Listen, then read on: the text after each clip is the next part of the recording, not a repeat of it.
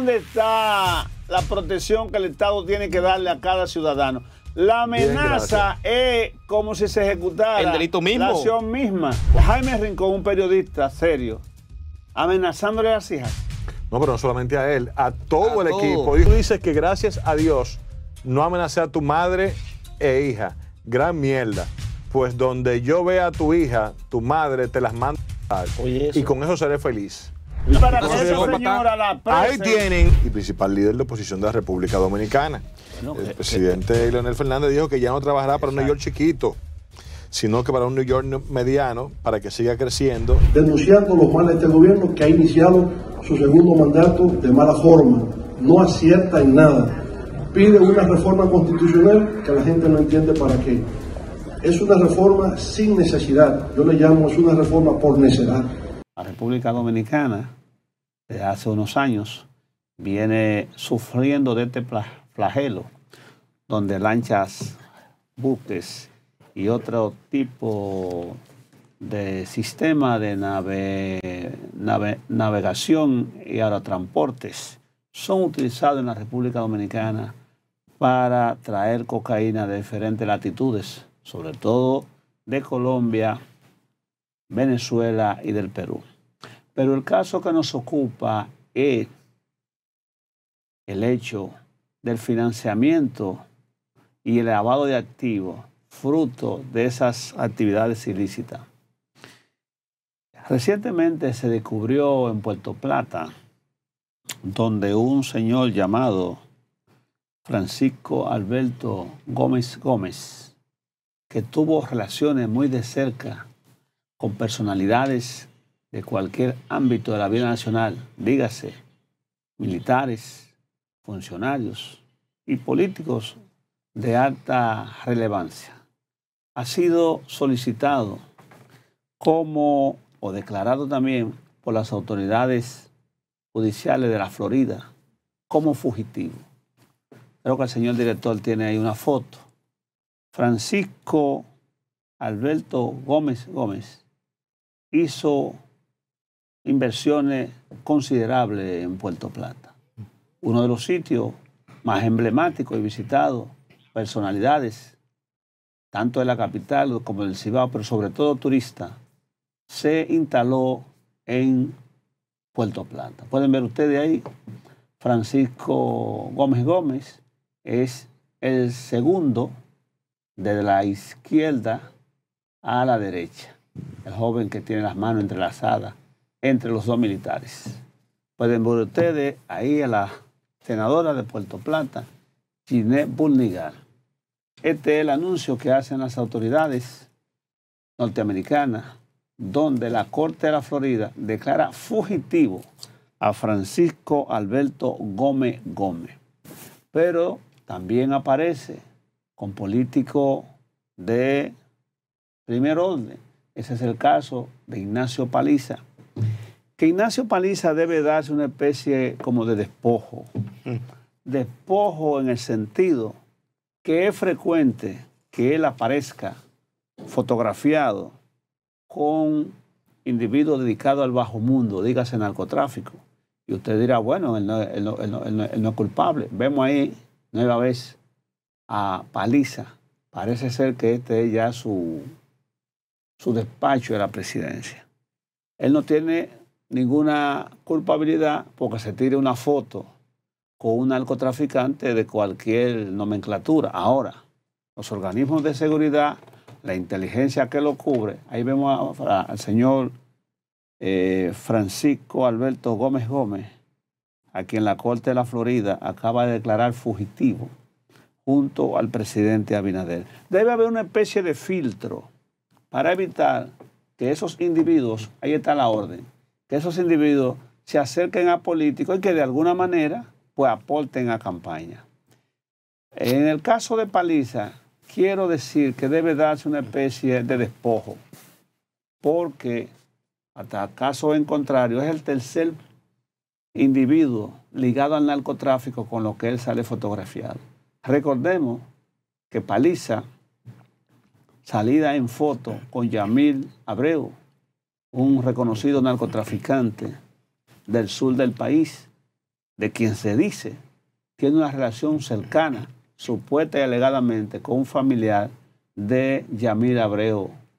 También a Paliza se le veía en varias ocasiones, en distintas fotos, con Miguel Gutiérrez, primer diputado de la República Dominicana, que apresado y condenado en territorio continental norteamericano por traficar nada más y nada menos que entre 15 y 20 toneladas de cocaína. Se le impuso una pena de 16 años preso y 5 años más en, en preparatoria, es decir, vigilado. Él va a estar libre, pero no podrá salir de los Estados Unidos. Ahora sale también fotografiado con el señor Francisco Gómez, Francisco Alberto Gómez Gómez.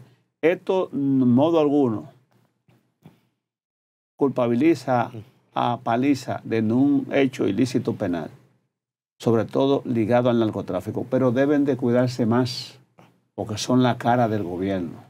Todo el mundo sabe, porque lo declaró según Mentidero, de que Miguel Gutiérrez aportó significativas sumas de dinero en las elecciones de 2020 para financiar la campaña política del Partido Revolucionario Moderno en Santiago. Entonces, debemos aunar esfuerzo con el propósito de recomendarle a los políticos que antes de que una persona revestido de empresario con una inversión cuantiosa, personas jóvenes, que si usted calcula los años que tienen de vida, con probablemente la fortuna que poseen, pues difícilmente trabajando lo hayan logrado. Ese es Miguel Gutiérrez, narcotraficante, probado y confeso del Partido Revolucionario Moderno, condenado a 16 años y cinco más de probatoria, diría yo, allá en, precisamente en Miami. Entonces, los políticos son los que representan el gobierno cuando están en el poder. Y no se puede irse con el amague y dejar que cualquiera se le acerque bajo el argumento de que va a aportar y que quiere ser candidato o que tiene una inversión y que quiere que de alguna manera las autoridades se las antigüen. Hay que tener mucho cuidado porque en definitiva tanto da el cántaro o la gota en el cántaro que le hace un hoyo. Y dicen en los mentideros, sobre todo en los refranes populares, que cuando el río suena es, que agua trae. El hermano William Correa. Muchísimas gracias, Leonardo Suero. Eh, bueno, está complicado. en el caso de Paliza, el amigo Paliza tiene una situación y es que él es presidente del partido revolucionario moderno. Y de cierta forma esto también le, le, da, eh, si, usted quiere ver la licencia, porque tiene que reunirse con todas las personas que quieren aportar a la campaña y al partido. No así al gobierno, y es otra cosa como ministro. Y que no han tenido suerte porque este gobierno ha demostrado en, en pleno ejercicio que estas personas que se le han acercado, que finalmente se descubre que tienen algún vínculo con el narcotráfico, pues no han encontrado en el partido hoy, el partido de gobierno, un resguardo a su, a su fechoría, sino que este gobierno ha demostrado que no mete la mano por nadie y que si usted tiene una vinculación al narcotráfico, como es Gutiérrez, pues usted tendrá que pagar. De manera que el que se acercó al gobierno pensando que más adelante, si se le descubría algún ilícito, que tenga que ver con el narcotráfico, pues creo que se fuñó. creo que todos los, políticos están expuestos a este tipo de cosas. Porque lamentablemente la droga y, ha permeado todo, literalmente todo. Pero nada, mi comentario del día de hoy yo quiero dedicárselo a una enérgica manifestación que vi frente al Palacio de la presidencia, yo lo vi ahí, fue que donde movimiento el movimiento reconocido protestó. Estaba protestando y decía que si ellos no son dominicanos, Abinader tampoco. Ellos están protestando eh, tras cumplirse los 11 años de la sentencia 168-13 que vino a poner orden en este país. Una sentencia del Tribunal Constitucional quien decide quiénes son y quiénes no son dominicanos. Y también lo escuché con un discurso equivocado, hablando de que ellos serían apátridas si no se le da la nacionalidad dominicana. Al parecer ellos no están, eh, no tienen la información de que todo haitiano, hijo de haitiano, es haitiano según la constitución de ese país.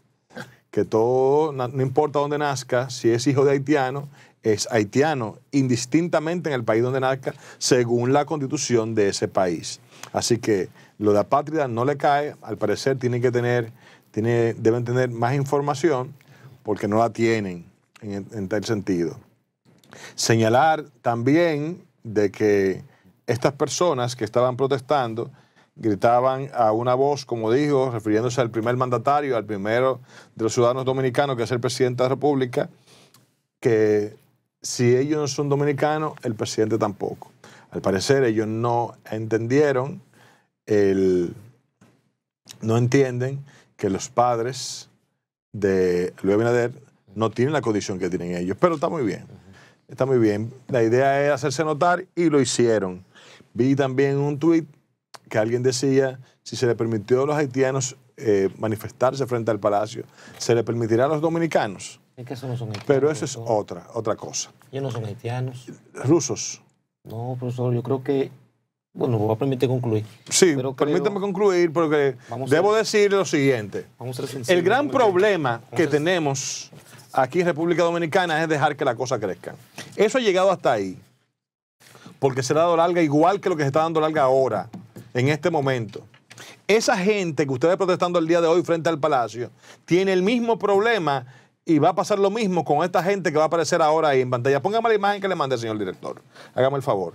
Para que usted vea lo que está pasando en el país actualmente. Y lo que dentro de 20 años, usted ve esa protesta de ahí, la va a ver así. Mire, en Montecristi, estos son los partos por provincia de República Dominicana. Ay, mamá. En Montecristi el 34% son dominicanos y el 65% son de parto de haitianas, de Ay, parturientas haitianas. Dios mío. En Elias Piña el 36% son dominicanos y el 63% son de parturientes haitianas. Ay, mamá. En Valverde el 36% dominicanos y el 63% haitianos. Ay, Virgen de la Altagracia. En la Altagracia, agárrese también, 39% dominicano, el 60% haitiano. Ay, San Miguel. En Independencia, 42% dominicano y 57% haitiano. Ay, papá, y así por usted está viendo esa gráfica que le mostramos ahí.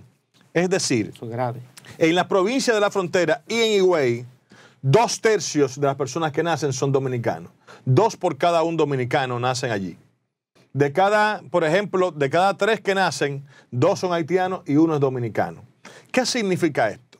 Que al ritmo que vamos, porque esto es, estamos hablando desde el 2019 al 2024. Óigame bien, el ritmo que llevamos es que en esas provincias, dentro de 10 años, usted no tendrá más que entregarse a Haití libremente. ¿Y por qué digo, vuelvo aquí, señor director, que esto que usted está viendo aquí, usted lo verá el resultado en 20 años? Porque es la misma irresponsabilidad que se tuvo con esa persona que hoy está protestando allí. Esas personas que hoy están protestando allí tuvieron esa misma, es eso mismo que está pasando el día de hoy. Nacieron en territorio dominicano con, de padres ilegales que venían de paso de turismo, de trabajo, ¿verdad que sí? Entonces, esos padres que estaban aquí con carácter ilegal, como señala la Constitución Dominicana y como señala también la referida sentencia 118-13, no tienen nacionalidad dominicana.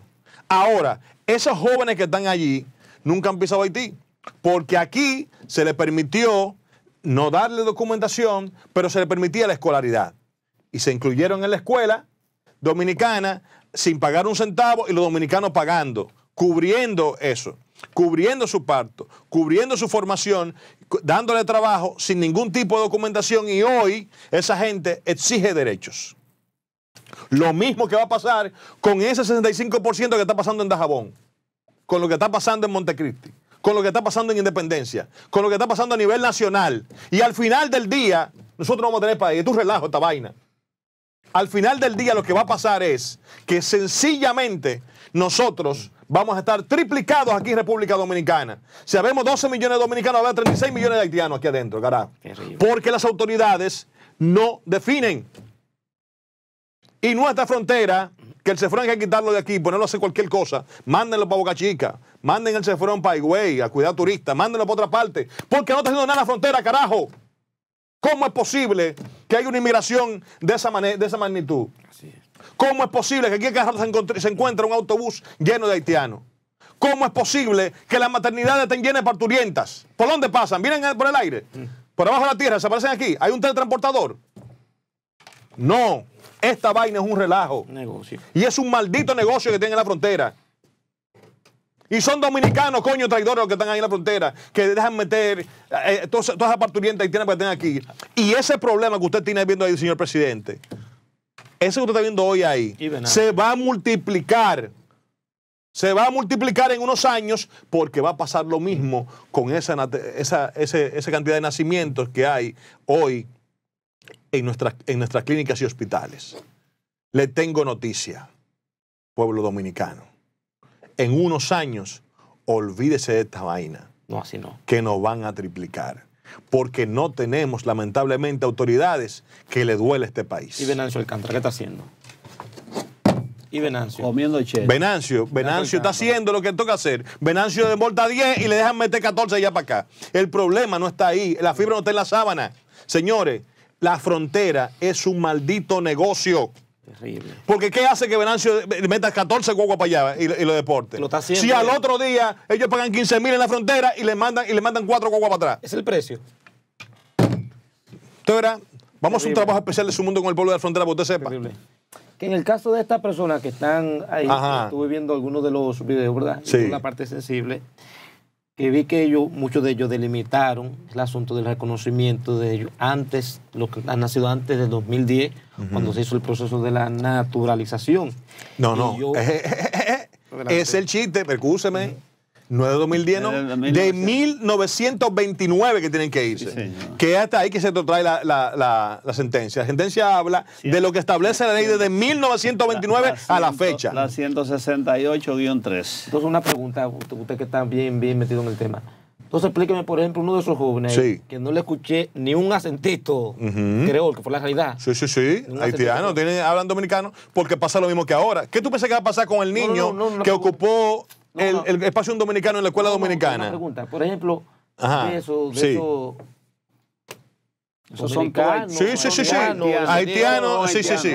Sí, sí. Como ellos son de padre dominicano. Haitianos que viven en dominicano. No, no, no. no, Ellos son de madre haitiana y padre dominicano. Con esa, con esa calidad, fueran dominicanos. ahí. Si fuera esa calidad, fueran dominicanos. Basta con que uno de los padres sea dominicano para que sea dominicano. y que, se haya responsabilizado. Que hay la denuncia, oiga, mi querido. y que se haya responsabilizado. Hay la denuncia, hay la denuncia de que algunos piperos le están dando entre 1.500 y 4.000 pesos para que declaren haitianos como hijos de ellos. 20 ¿Cómo, años. ¿Cómo va a ser? A piperos de esos niños que meten droga. Lo han utilizado. Sí, sí, sí. ¿Quiere 20 mil? No, que 20 mil. ¿Qué 10 mil? Con 20 mil legalizan ellos 5 y basta según nuestro... No, que eso no se puede. al menos no en esta junta de, de, Es que no, es que la ley, no es la junta, mi hermano. Si usted toma si una tú vas y dices que es hijo mío y va y lo, declara ya, es hijo, es hijo tuyo y ese Bueno, tiene que ser la, de la madre, pues va a tener dos apellidos que no son, Entonces, que no son originales. Podrá tener todo lo que quiera, Lo que sí la ley va a tener que pedir ADN en algunas casas. Y, hay mucha y debe caerle, debe meterle 20, 30 años a quien se ponga esa vagabundería o declarado como traidor a la patria. no, no, pero los gobiernos que han sido pusilánimes, que han permitido la entrada. Es un relajo esta eh, vaina. Por hipoteca que tienen con los gobiernos eh, extranjeros. Y usted. hay que ver la inversión que se ha hecho aquí. Es un jodido muro que no sirvió para nada. Suero. Va, para la Suero. y, le, y le aclaro algo. y le digo algo, señores. ¿Ustedes piensan realmente que fue casual el día de hoy que se haga esa manifestación? No fue casual. ¿Qué está pasando el día de hoy en Naciones Unidas? El presidente de Naciones Unidas. Hay la reunión de la ONU y evidentemente eso es para mandar un mensaje de maltrato, directamente a la ONU, de maltrato, de apátrida, para colocar el tema en Naciones Unidas. eso, está, eso está bien dirigido. A ese tipo de eso está bien dirigido, eso no a lo loco, señores. Señor, ¿usted piensa que fue que nos juntaron un grupito y vamos para allá? Y hay no, gente que está- eso está dirigido. Y dirigido por dominicanos que son traidores de la patria también. Claro. Porque hay un grupo de fundaciones por ahí. Y de asociaciones que son financiadas. Pero que su negocio es ese. Ustedes, ustedes no han observado algo. El presidente de Kenia, William Ruto, Él no, no tuvo de visita. todavía. estuvo de Tú, visita pasó en- por en ahí. Haití, ¿Y por qué no amaneció ahí en Haití? pasándole revista Ajá. a la fuerza keniana, Dios, dijo. Militares y policiales. Están allá. Está vivo. Él anunció desde Haití el incremento a 600 a- efectivos Efectivo. más. Pero la fuerza keniana no han dado pie con bola. Uno pensó que a esta altura de juego, Iba a estar resuelto. eh, Chirichiel y Barbecue y los 400 maguosos iban a estar ya eh, o presos presidente o exterminados. Ahora bien, si usted le quita el uniforme a los policías y militares kenianos, ¿a quién es que más se parecen? No, ya eso era. Ya, y ya si sí. usted le pone Ya usted le puso un uniforme, Pon tu zapa a este lado, espérese, con un uniforme y, de y eso, usted le pone un uniforme, Yo duermo aquí. usted le pone un uniforme haitiano de las fuerzas policiales y militares haitianos a un keniano, es un haitiano. Así es. Ahora bien, a través de esa supuesta pacificación, están llegando a Haití cualquier cantidad de habituallamiento y pertrechos militares, inclusive carros blindados, con el propósito de que les sirva de instrumento para combatir las bandas haitianas. Y es, sí es una conjura que lo que se está entrenando a posibles milicianos haitianos por el ejército keniano ya tiene una cabeza de playa aquí en, en Friusa. Uno no sabe qué hay escondido en Frusia, qué pasa de Haití hacia acá sin el mayor control de las autoridades dominicanas. ¿Tendrá la inteligencia dominicana algunos agentes internos que le estén informando de qué se produce en Haití? Sí, por supuesto, claro. sí. Todos esos jóvenes que usted ve que tienen 15, 16 años, que hoy están reclamando la nacional- la nacionalidad dominicana sin derecho, sin derecho, porque aunque nacieron aquí, están en su padre ilegales. Por vía de consecuencia, la sentencia del Tribunal Constitucional, la 168-13, no lo protege. Porque si usted está en estado de tránsito, porque es diplomático, o pasó aquí y viene con una mujer embarazada y da a luz, no importa del país que sea, usted no es dominicano. Porque esto no es de jus, esto no es de jus, eh, suelo, jus sino soli. jus sanguini. Jus soli. Perfecto. Entonces, ¿qué acontece? Todos esos jóvenes tienen 16, 17, 14 años. Algunos en 3 años y otros en 4 están en capacidad de empuñar un fusil para combatir a los dominicanos. Sobre todo que hay la creencia, y los intelectuales haitianos y en la educación se le dice, que Santo Domingo es una provincia rebelde de Haití. Ellos abrigan la esperanza de poder controlar este territorio. Recuperar. Pero nosotros estamos Se lo dice. ya. durmiendo, do- nosotros estamos eh, en Babia, ahí está el- El artículo 18 de la ley. de la Constitución que habla de, sobre la nacionalidad y dice claramente, son dominicanos y dominicanas, uno, los hijos e hijas de madre o padre dominicano. Dos, quienes gocen de la nacionalidad dominicana antes de la entrada en vigencia de la Constitución de la República. Tres, las personas nacidas en territorio nacional, con excepción de los hijos e hijas de extranjeros, miembros de delegación diplomática y consulares, de extranjeros que se hallen en tránsito o residan ilegalmente en territorio dominicano. No más fin de la cita. no más palabras. tengo que decirle más nada. Entonces, eh, eh, ahí Esos jóvenes tienen que ir, entonces, pues, imagínate. no, no, son, son haitianos, tienen Esos que Haití. haitianos Nacieron aquí, vamos a poner un caso de Lo ponen en el libro de extranjería. Van a su consulado, dan a un se registran se y le dan su documentación. Como le, como le dan, eh, se ¿Y, con ponen el libro de- papel? y por ejemplo, uno de esos, imagínate que llegó aquí con un abuelo. No, no, y que no. la Sí, mamá no tenía sí, papeles. sí, sí, Si sí. estaban, si ilegales en ese momento no, no. son nada. No, para Sí, yo sí, sí. entender. Imagínate uno de esos, que fue Sí. el abuelo que llegó, Ajá. ilegal. Ajá, ilegal. Aquí tuvo un hijo, una hija. Sí. Regrese, señor director. sin ningún sin ningún documento porque él estaba ilegal, no Ve- lo pudo registrar. Sí. Y esa todavía tuvo un hijo que uno de esos jóvenes no le pone los papeles porque no Sí. tiene ningún registro. ¿A dónde va esa persona? Ahí voy. Se tiene que ir Simplemente-. Imagínate, se le murieron los abuelos y papá. Sí, sí. Tiene es fácil. 30 años. para su consulado. No, no, es simple. El consulado. Mire, es tan simple como lo siguiente. pues, La- se lo llevó el diablo. ¿Sabes por qué? Es tan simple como lo siguiente, Porque- profesor. Y hay registro de nadie. Pero eh, Con el papel de, de naci- de nacido vivo Sí. de la- de la- del lugar donde nació, con ese documento, él simplemente tiene que ir a su consulado, su embajada, Le dan un en papel República. Dominicana y le hacen su Pero documentación como, además, como la, lo que la es, haitiano. constitución haitiana establece que el nacional es haitiano. No importa dónde importa nazca. el lugar donde nazca. Por vía de consecuencia no son apátridas. Y, se lo- Son- ahora, y cuando ¿qué le lo- hacen el papel, por ejemplo, de, de, de- de- de ningún dato de los papás, ahora, no ¿qué, es lo lo tiene. que, qué es lo que pasa, Es simplemente, vamos a decir, como, decimos, como diríamos aquí también, vaya y busque el documento del lugar donde usted nació. ¿En qué hospital usted nació? No sabemos. Yo viví en la frontera de ejemplo, Montecristi. ya Haití le da su nacionalidad ya. Claro que sí, porque es hijo de la- padre Ese domini- haití no haitiano. tiene un registro civil confiable. No, ah, que sea confiable es otra cosa. Haití Ahora, no yo registro la A la embajada lo registran, ¿eh? Espérese. Vamos que a la embajada lo registran. Cada haitiano que nace lo lleva a la embajada, lo registran. Buena. Su mundo con el pueblo, ¿quién y desde dónde?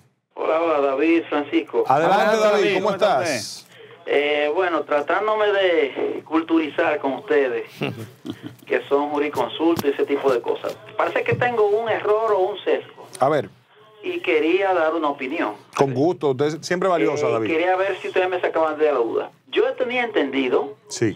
que los hijos de los haitianos braceros que eran solicitados por el Estado Dominicano o que tenían una condición de trabajo real en Dominicana y tenían niños aquí, yo tenía entendido que esos niños eran dominicanos. Esa particular, ese grupo particular de personas, trabajadores regularizados o pedidos por el Estado David. Dominicano. Yo entendía que eran dominicanos. Ahora, la, la opinión que tengo es, ahora que hay un debate constitucional, no hay manera de que un grupo de presión pueda eh, eh, sugerir que la constitución dominicana considere eh, este delito de tráfico de humanos como un delito de alta traición con, con niveles de pena eh, elevados, 10, 15, 20 años. Sí. Y si existe esa posibilidad, ¿por qué no oigo a nadie hablando de eso? Sí, sí. Me la- contesta la- la pregunta de los dominicanos, hijos de, Claro, de braceros eh, regularizados y ese tipo de cosas, por favor. claro que sí. no, lo que acontece mi querido David, gracias por tu llamada. Tú siempre aportas. eh. Importante la pregunta. que en medio de toda esta varaunda, el Tribunal Constitucional se, lo- se le sometió a consulta. En ese momento era el presidente del Constitucional, Milton Rey Guevara. Entonces el tribunal estableció que la nacionalidad dominicana se, retrotraía al año de 1929 todo aquel que antes del 29 había hecho alguna declaración por, por la razón que sea, se reputaba dominicano. Desde el 29 hacia adelante, todo el que estaba en tránsito, dígase hijo de un diplomático o de una persona que vino de turista y dio a luz, o el que estaba en condición de ilegalidad, la ilegalidad no genera derecho. El que estaba ilegal, que vino como bracero haitiano, que tenía la responsabilidad, los propietarios de los ingenios, de volver, los propietarios de los ingenios, volver a repatriarlo y se quedaron aquí de forma ilegal, puede tener la cantidad de hijos que tenga. Ahora bien, si se casara ese haitiano, casado con una dominicana, la dominicana lo arrastra. Y si tiene un hijo durante esa convivencia, pues naturalmente, aunque el padre sea haitiano y la mamá es dominicana y viceversa, adquiere la nacionalidad dominicana. Y la adquiere. Le diga Y aclararle también que en el caso de los braceros haitianos, eh, que eh, venían con un contrato a República Dominicana, al corte de la caña, David, estaban en condición de tránsito. Sí. Porque inmediatamente terminaba su contrato, deberían regresar a Haití. Por eso o sea, ellos estaban en condición de tránsito, por lo tanto, no adquieren nacionalidad Que dominicana. no volvían, por eso se Aunque los estaban, Bastelles, que son sí estaban, estaban de, eh, legal, mas no Mire. Más estaban en tránsito y por eso no adquieren nacionalidad. En Batella, no como, mire, mire, en Batella como Caballona, donde yo vivía en Caballona, Lechería y Palabé, pero sobre todo en los años del doctor Balaguer, cuando no tenía los mecanismos electrónicos y tecnología, se nacionalizaron una gran cantidad de haitianos. Pero ¿qué pasa? Que cuando vino esta cédula biométrica, se fueron a la génesis, a los libros. Y en los libros se encontró que el nacimiento de esa nacionalidad era ilegal. Por vía de consecuencia, no era compatible con la sentencia 168-13. Y por eso la Junta Central Electoral ha quitado una gran cantidad de nacionalidades, no solamente haitianos, sino a otros extranjeros, porque la génesis del nacimiento de esa nacionalidad era ilegal, era fraudulenta. Y yo Así conozco es. gente que inclusive votó en varias ocasiones en las elecciones dominicanas. Pero cuando hicieron el cruce, que los libros fueron eh, microfilmados, Antes, sí, su mundo con el pueblo, ¿quién es de dónde? Y tú, en cuanto tu pregunta, David, escúchame la, la televidente. Sí. Y en cuanto tu pregunta, David, en si se puede someter o no, claro que sí. Sí, la Constitución La lo Constitución lo establece. habla bien claro de alta traición. Su mundo con el pueblo, adelante. ¿Quién y de dónde? Sí, buenas tardes. Diógenes John, de aquí Los Trinitarios. Adelante, Adelante, Diógenes. Diógenes. Eh, ustedes estaban hablando de la gente de, de la frontera, que deberíamos demandarlo a cuidar los turistas, porque realmente no están haciendo nada en nuestra frontera. El Cefrón. Pero- Sí. Y las personas que están eh, para cuidar las cárceles de los de los delincuentes, que dejan meter de todo. Eso sí es a verdad. las cárceles. Hasta un tanque de guerra te meten ahí, sin problema. mismo. Gracias. A ti, hermano que mío. quiero felicitar al doctor Guido Gómez Mazara. Ah, que empezó. El doctor Guido, gracias Señor por su llamada, bendiciones. El doctor Guido Gómez Mazara ha empezado a ponerle el cacabel al gato. Si el doctor eh, Guido Gómez Mazara logra bloquear que no salgan ni entren llamadas de la cárcel, Las señales la de delincuencia, internet. las señales, la delincuencia se, re- se reduce aquí en un 24, en un, en un 40%. Y cuidado, porque desde la cárcel hay una gran cantidad de bandas Sí, operando que viven atracando y operando con gente dentro y fuera, cuyos jefes están presos. Y eso lo hacen a través de la llamada. Usted ve todas esas llamadas que usted se sacó un televisor, que, que pase porque si yo que, que se le murió un hermano, que me ponga una tarjeta, todo eso es de la cárcel. Y si el doctor Y se Gómez- hacen y ese- por encargo, y si el doctor Gómez Mazara, Gómez Mazara, que ha sido el único que ha prometido y está dando los pasos, porque lo hizo Domingo Brito, no hizo nada. Prometió Radamés Jiménez también, no hizo nada. Y Nelson Prometió- Arroyo hizo el bulto. Hizo Y mira ahora como, como según los estudios que eso no existe. Eh, la Procuradora. General de la. República que va saliendo, Miriam Germán no ha hecho nada. Nosotros esperamos que el doctor Guido Gómez Mazara tome el toro por los cuernos y provoque que haya un bloqueo de llamada telefónica Así es. que entrantes y salientes a la Y cárcel. internet. Y eso va a evitar y va a hacer que, descien- que va a evitar el crimen que se comete y va a permitir que un 40%, entiendo yo, mínimo, se reduzca la delincuencia. Así 809-547-1158. Sí, señores, yo quiero- 809-547-1158 son los números de estudios. Francisco Alcántara. Quiero aprovecharse en hacer verdad injerencia, pero haciendo verdad Una, un ejercicio de, de apuesta a la reconstrucción de las instituciones políticas. Y desde República Dominicana, nuestras felicitaciones a Luisa María, alcalde de Luján, quien en la convención que hiciera ayer el partido Morena, Partido de Gobierno de México, tenemos una imagen, acaba de ser designada como presidenta de ese partido, una mujer A nivel nacional. a nivel nacional, una bien. mujer joven. Si podemos poner la imagen que le mandé al productor en pantalla, eh, donde aparecen los nuevos miembros del Comité Central de la dirección del partido de Morena. También Carolina Rosángel, que es secretaria general de Morena, y Andrés Manuel López Beltrán como secretario de organización. Nuestras felicitaciones. Que por de cierto, manera especial, mira, esa, esa joven que por cierto, ¿Cómo anda? secretaria, secretaria de gobernación del gobierno, que sería aquí como la como el ministro de la presidencia, Sí, pero sí, en México. Acaba de ser el presidente, como presidenta del partido. el presidente Andrés, Andrés Manuel López Obrador acaba de anunciar que renuncia a la presidencia del partido. Ay, la renuncia ahí. a su condición de miembro del partido. Y se va a la vida privada y no va a militar más en política. Le dieron una buena despedida a Andrés Manuel López Obrador.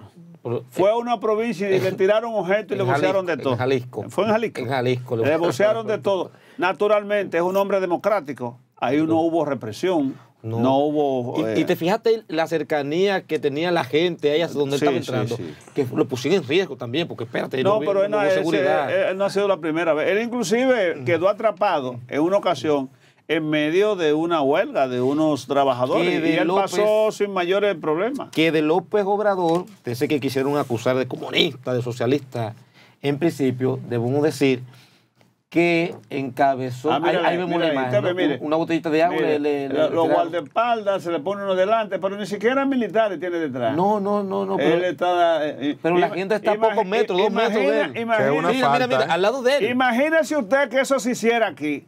Los palos y la bomba que le dan a los manifestantes. No, no, suero. Aquí, aquí se hizo ya. Aquí. Aquí había un grupito, suero, que agarraba al ex mandatario a Danilo Medina cuando salió, en Nueva York le boceaban de todo, le tiraban ah, de todo. ¿Usted se acuerda? Ah, porque por cierto, le dieron una taza de su propio chocolate a, un momento. al presidente Abinader. También dicen lo mismo que también está mal, ¿eh? Así como hicieron con Arlo, como lo hicieron con, con otros candidatos presidenciales, como el caso de Danilo, y ahora se lo hicieron a Luis en Nueva York también, que le vocearon de todo. Entonces, eso es una falta de respeto. Señores, el, nuestro presidente está en una locución en Nueva York, yo en, la, las Naciones Unidas. ¿eh? Eh, vamos a ir a la pausa y cuando regresemos yo creo que sería interesante. Sí, vamos a hacer por supuesto. algunos minutos de lo que el presidente... Ah, vamos a tomar esta llamada primero. Adelante. Su mundo con el pueblo, ¿quién y de dónde? Buenas tardes, mis hermanos. Le habla César Javier desde acá del Distrito Nacional. Un saludo, Suero, Francisco y William. Gracias. Adelante, César, cuéntanos todo yo he estado analizando las intenciones del gobierno de vender energía a Puerto Rico y me pregunto, cuando escucho eso, ¿cómo lo van a hacer si aquí no están dando apagones? Ah, como que no es coherente. ¿Qué van a vender a ellos? César, pero, eh, eh, ¿qué cosa? Me deja que desarrolle. Lo vato ahora lo vato no más. Habla por encima de él, César. no, no, estoy, viendo César, que pero, por lo menos están incentivando la industria de los inversores. César, pero es que aquí, aquí tenemos capacidad de sobra en producción de energía. ¿Y por qué son apagones? ¿Y qué está pasando entonces? César, la luz que se va a vender en Puerto Rico se está llenando una barcaza de vela. vamos a la pausa. Vamos a la pausa. de cuava. Esa es la luz. Señor director, vamos a la pausa y ya volvemos en su mundo con el pueblo.